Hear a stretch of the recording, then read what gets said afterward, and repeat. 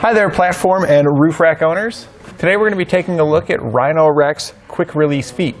These legs are designed to work with either platform racks or Rhino-Rack's Vortex Aero crossbars, and they will connect to Rhino-Rack's RTC or RT style roof rack tracks. We'll show you the quick release in action here. We've already got our platform rack installed. We're going to go ahead and insert our key and remove our cover. And here you can see the quick release mechanism inside. To release it, you'll simply just squeeze these two pieces together. And then once you squeeze them, if you actually push inward just a little bit, it'll hold it in place in the unlocked position. We're going to repeat that at all the feet.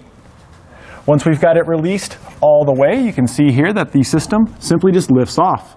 And here you can see the quick release tabs. I'm going to go ahead and release them so you can see how they work. They pop out which would hook it into the portion that is bolted down to the top of your vehicle. We're going to go ahead and squeeze them back together, make sure that all of them are pressed in. We can then take our accessory with our feet at the appropriate location, drop it down into place, and then just pull those out. Once you pull them out, you do often have to just give a little bit of a tug downward to make them pop into place.